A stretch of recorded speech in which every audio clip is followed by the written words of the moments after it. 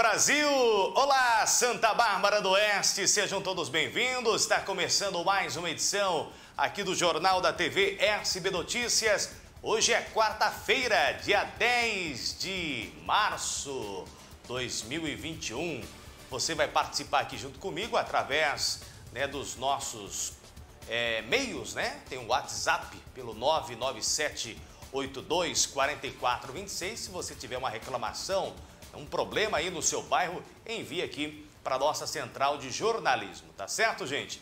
Vamos se inscrever aqui no canal da TV SBN. Se inscreva, clique no gostei e ative o sininho. Compartilhe aqui o nosso programa de hoje, tá? Olha, atenção, atenção, hein? Tem mudança aí é, no Plano São Paulo. Vem aí uma nova fase. Né? Hoje, o governador do estado de São Paulo provavelmente irá anunciar essa nova fase. É a tal fase roxa aí do Plano São Paulo, mais restrita ainda, né? E você vai acompanhar uma mulher que acabou atendo fogo no próprio marido, hein? Em Hortolândia. Olha aí, parece que o marido não tá, não tá nada bem, né? Já já a gente vai contar essa história, como aconteceu.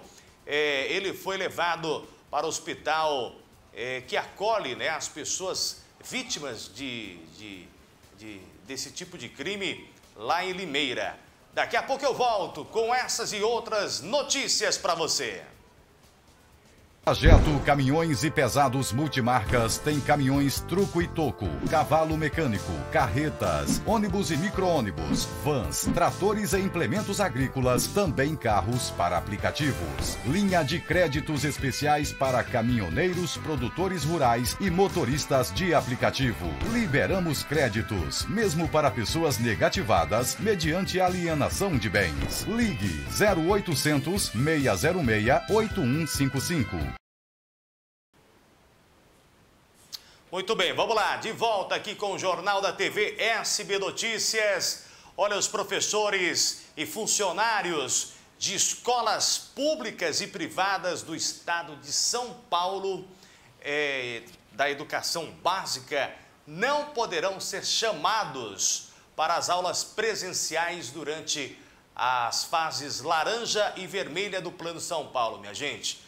A decisão, em primeira instância, foi proferida na tarde de ontem pela juíza Simone Rodrigues Casoretti, da nona vara é, da Fazenda Pública de São Paulo. Ela atendeu a um pedido feito por seis sindicatos que representam profissionais da educação, entre eles o Sindicato dos Professores do Ensino Oficial do Estado de São Paulo. A decisão vale para todos os funcionários dessas entidades. A sentença de primeira instância, por isso o governo do estado de São Paulo ainda pode recorrer e tentar revertê-la né? situação, essa decisão é, da justiça. Olha, nós anunciamos aqui ontem né, o programa é, que o Leitinho, prefeito de Nova Odessa, que é o auxílio emergencial de 600 reais, é, será dividido em três parcelas, 200 reais cada a primeira parcela é, para abril foi aprovada pela Câmara de Vereadores de Nova Odessa, né, na segunda-feira. E olha só, a Americana também entra né, num programa exclusivo para moradores de rua. Veja só o que o prefeito Chico Sardello, Sardelli fez, o prefeito de Americana. Ele que é do PV, ele anunciou ontem que a população é, que vive em situação de rua, né, as pessoas que vivem em, em, em situação de rua, é, vai ter um amparo diferenciado e legal. É o objetivo principal é ampliar o serviço de acolhimento e criar um protocolo diferente né, aí, é, de atendimento na cidade. É, vai criar esse protocolo, né, vai, vai ter um, um veículo de grande porte que vai percorrer a cidade, né? E é, vai levar atendimento a essas pessoas aí com é, vulnerabilidade. É um trabalho muito bom, né? A, gente sabe que é, é, não é obrigado, claro, nenhum morador de rua, ninguém obriga ninguém a, a, a, a seguir, né? tais diretrizes, mas é, o, o, o, Fundo Social, né, a Secretaria de Promoção Social, é, tem que ajudar muito nesse sentido. E esse projeto, tenho certeza que vai ajudar. Vai, a, a, inclusive, é, encaminhar essas pessoas para as unidades de atendimento à saúde, na, nos postinhos, né, nos prontos-socorros, dar toda assistência psicológica. Então, um programa bem bacana, bem legal. Parabéns aí ao prefeito de Americana, Chico Sardelli. Olha, o crime ocorreu em Hortolândia, mas o rapaz foi encaminhado para a cidade de Limeira para o atendimento ao Hospital de Queimados de Limeira. É um homem de 38 anos, né? Esse homem ficou gravemente ferido.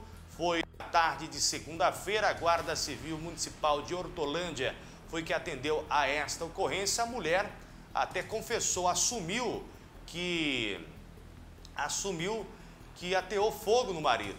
Ela dizia que ela sofria né, de violência doméstica. Mas olha só, atenção, tem informações de que esse homem, esse homem de 38 anos, olha aí, o helicóptero Águia, levando ele é, é, para o pronto atendimento. Esse homem, ele não resistiu, ele, ele morreu. Ele, esse homem, na tarde de ontem, ele não resistiu ele foi atendido. A ocorrência é, destas queimaduras foi no bairro residencial Mar, Maria de Lourdes, é, em Hortolândia. O homem foi encontrado agonizando no sofá com os ferimentos graves.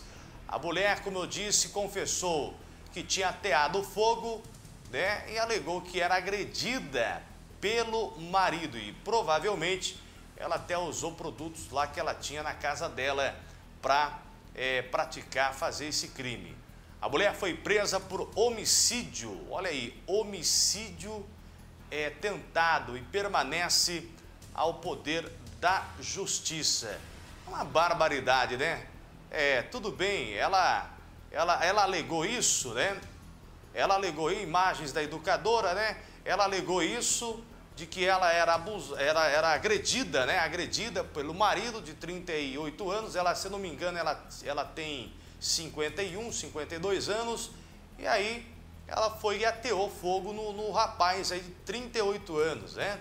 O cara morreu. O cara morreu, não resistiu às queimaduras. E agora ela vai ter que pagar aí pelo crime que cometeu, obviamente. Nada justifica também as agressões que, que ela né, sofria, que o marido supostamente é, há de se provar, também agora levantar, abrir um inquérito para investigação. A Polícia Civil é que vai é, investigar a partir de agora, mas um crime não justifica o outro. Um crime não justifica o outro. Né? Senão, todo mundo vai sair matando por aí. Não é assim que funciona no, no, no, no Brasil, gente. Pelo amor de Deus, não é assim que funciona. Olha, tem fase roxa agora. Isso vai ter, provavelmente também vai ser anunciado hoje pelo governo do estado de São Paulo. Veja aí, é uma fase mais restrita, né? Inclusive os supermercados, farmácias, né? Isso, padarias podem ter horários diferenciados aí encurtados, reduzidos. Essa fase, o governo do estado deve anunciar logo mais a 15 para uma da tarde é, em rede nacional essas medidas mais rígidas é para conter o avanço da pandemia do coronavírus né, no estado de São Paulo. É, é, é 100%, hein? 100% dos leitos ocupados. Foi o anúncio ontem 19, gente, 19 hospitais, 19 hospitais paulistas atingiram 100% da ocupação de leitos de UTI é, para, para a Covid-19 e outros seis estão em taxas superiores a 95% de ocupação, estão perto de saturar. E Santa Bárbara do Oeste, vou confessar para vocês, Santa Bárbara do Oeste também não tem né? Os leitos de UTI para, para a Covid estão completamente lotados. Completamente lotados. é uma situação aí alarmante. É, a nossa região, o nosso estado de São Paulo é, prestes, né? Não vou falar que está no colapso, mas está prestes a entrar no colapso, porque, olha aí, 100% é, de, de leitos de UTI ocupados em 19 cidades do estado de São Paulo, olha, não é fácil não, hein? Fora é, é, outras, né, outros seis aí, outros seis hospitais também que estão com as taxas superiores a 95% de ocupação. Né? Então hoje, mais restrições, é uma nova fase, fase roxa, como se já não bastasse a fase vermelha do Plano São Paulo. É, é, é, agora poderá entrar essa fase aí, é, dando, é, é, sendo mais rígida né, e restrita ao horário de atendimento até a esses serviços essenciais, supermercados, padarias, açougues, etc. Né? Olha, o que tem que fazer é o seguinte, é, o, eu até comentei isso ontem, o, o bom acaba pagando pelo mal. Tem muita gente aí que não está cumprindo com a quarentena e está fazendo aglomeração. É, principalmente em bares. Eu já falei isso ontem aqui. Principalmente em bares. Bares superlotados. É? E tem fiscalização para isso? É? Tem, mas infelizmente não é o suficiente. Até a própria fiscalização fica de mãos atadas nos municípios. É? Tivemos aí no mês passado a final do campeonato, Avenida Brasil e Americana e a Polícia Militar no local com aquela baita aglomeração. O que, que a polícia vai fazer, pelo amor de Deus? Né? É, é, o, o número de, de de é, é, não é suficiente o número de policiais. Né? Você acha que eles vão se arriscar, minha gente? Né? Você vê lá 3 mil pessoas para meia dúzia de policiais. O governo do estado também tem que ver isso aí. Não pode deixar também nas mãos do, dos, dos, municípios. Tem que mandar é, é, é, é tem que mandar suporte para as cidades, para os municípios. Olha aí, quero agradecer a você que compartilha aqui o nosso Jornal da TV SB Notícias. Todas as manhãs nós apresentamos, às vezes você que não dá para acompanhar já pela manhã, mas na hora do almoço, você que está aí é, almoçando, está acompanhando aí as notícias, é, os nossos comentários, ou até à noite quando você chega aí do seu trabalho, né? E fala, opa, peraí, eu quero assistir aqui o Nilson Araújo, acompanhar o jornal da TV SP Notícias. Vamos ver o que tem de notícia boa hoje, né? É, de boa não garanto muito, mas olha que nós é, chegamos, né? Chegamos a é, chega aqui no, no, no, nos nossos é, é na, na, na, nossa redação, né? Nos nossos contatos, muitas notícias aí da, do povo, né? As pessoas pedindo auxílio aí, ajuda aqui para nossa é, equipe de reportagem. Conte conosco, viu? Pode contar. O nosso WhatsApp é o 9 9782 4426. Fique à vontade para você enviar aqui flagrantes, reclamações, denúncias, né? Problemas aí na, na, no seu bairro, na sua rua e também sugestões, elogios, né? Pode, também são válidos também aqui no, no Jornal da TV SPN. Acabou o jornal? Acabou? Então tá aí. Amanhã a gente volta, amanhã é quinta-feira. Amanhã a gente volta com mais uma edição do Jornal da TV SB Notícias. E lembre-se, mexeu com você, mexeu comigo. Tchau, pessoal.